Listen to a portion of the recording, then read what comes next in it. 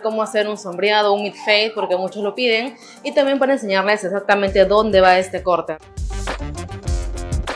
Con la peineta 1,5 y la palanca abierta, cortar todo el exceso de cabello porque el pelo del modelo está largo, así que voy a cortar bien, bien, bien para poder hacer el fade más rápido y práctico. Ahí está. Poco a poco. Recuerden que este número lo estoy pasando de manera vertical, no estoy metiendo la máquina para que no le quede mal su corte. Este lado también repetimos el mismo paso. ¿Qué pasa si no hago este paso antes de hacer el fade? Que cuando el pelo está largo y marco con la cero, el pelo me va a tapar y no me va a dejar sombrear bien. Así que siempre recomiendo que bajen el tamaño primero. Recuerden que en la parte de la coronilla también se corta de manera vertical o hacia afuera, pero nunca hacia adentro porque le malogramos su crecimiento. No hay que recordar que la coronilla, ahí se ubica el remolino. Y si el remolino no se sabe cortar, imagínense, ¿no? el pelo queda muy muy parado. Con la palanca en cero, prendo la máquina, lo agarro como si fuese un lapicero y conecto los costados porque, como les menciono, el modelo no quiere que le corte la parte superior porque, bueno, se lo dejará crecer, ya tiene otro peinado, ¿no? Ya está pensado lo que quiere realizarse. Ahí está, ¿sí? Conectando poco a poco. Ahorita no estoy usando peineta, ahorita la máquina está sin peineta, está en cero porque estoy cortando el exceso de cabello de la zona de la conexión.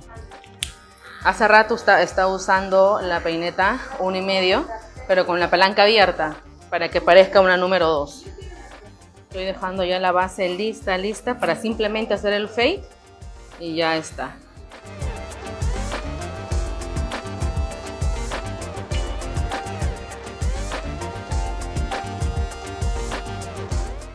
El mid fade no se marca a la altura ni de un dedo, ni dos dedos, ni nada, no midan por dedos. Porque en este espacio, si yo le digo, chicos, marquen a la altura de dos dedos, por ejemplo, va a quedar muy alto.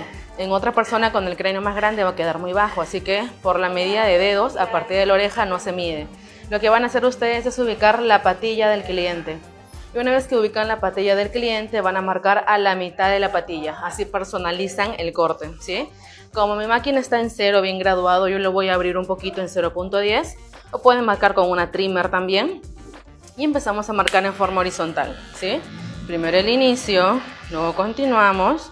Ya voy a ir premarcando este lado. Si quieren conectar con navaja, agarramos la cero y cortamos de esta forma solamente en este espacio. Y de aquí hacia abajo pasamos navaja. Voy a pasar el acero y la máquina que también es muy parecido, ¿sí chicos? Igual si tienen la máquina Balding, también les va a parecer muy muy parecido el acabado con la navaja. En este espacio inclusive le pueden pasar la shaver y queda más más a piel.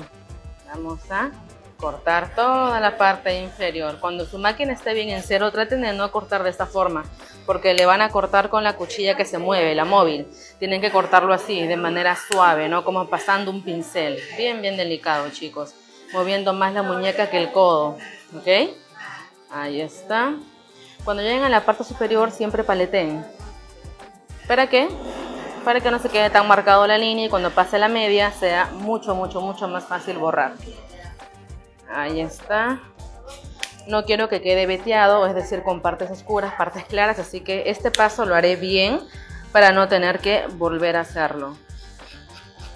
Ahora voy a utilizar la peineta 0.50 de la marca Wool porque mide 1.5 milímetros y voy a cortar exactamente a la altura de un dedo, ¿sí? Ahí está. Corto, miren el movimiento, es en forma de paleteo, corto y saco en forma de C, ¿sí? Con movimiento en C. Ahí está. Una vez que empezamos la 0 y la media, seguimos con la 1 y medio. Recuerden que hace rato lo que pasé al inicio fue la 1.90, es decir, 1 y medio abierta. Así que la 1 y medio lo voy a pasar a la altura aproximadamente de dos dedos, ¿sí? Todo cero, medio un dedo, 1 y medio, dos dedos. Hacia afuera, no se olviden, ¿eh? Hacia afuera.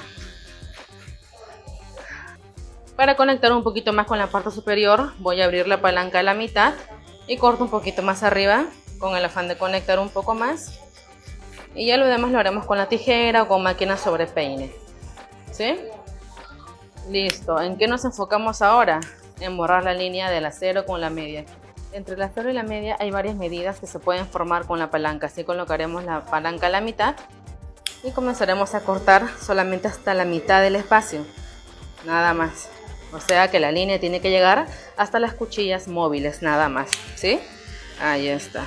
Vamos a cortar poco a poco y vamos a hacer un juego de palanca. Es decir, abrimos toda la palanca y cortamos un poco más arriba. Antes estaba hasta aquí, cerramos un poco la palanca y cortamos más abajo. Es decir que siempre va a ser en escala, ¿sí? Así que vamos a hacerlo. Si hay espacios así en blanco como pequeños espacios tipo calvicie, así, eso no hay problema, simplemente en ese espacio tratan de conectar mejor. Pero no se estresen y se compliquen chicos porque es parte del cuero cabelludo, ¿no? Solamente es cuestión de seguir puliendo en esa zona Aquí tenemos el sombreado de la media y la cero y ahora falta entre la media y la uno y medio. Como la uno y medio mide dos dedos, la uno lo pasaré a la mitad, a la altura de un dedo, paleteando. Vamos a ver acá la línea, Y ahora cortamos a la altura de un dedo. Una medida muy cercana a la 1 es la media palanca abierta, ¿sí? Así que voy a colocar por debajo de la 1 la media palanca abierta y voy a ir cerrando hasta conectar.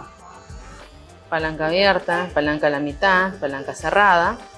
Y así vamos a ir conectando poco a poco, siempre eliminando con el brush todo el exceso de cabello. Peino y en la zona donde quieren sombrear paso a la tijera, pero poquito nada más, ¿sí? No le corten tanto. Ahí estamos puliendo los detalles. Tijera entre secadora o pulidora, al final baja volumen es lo mismo.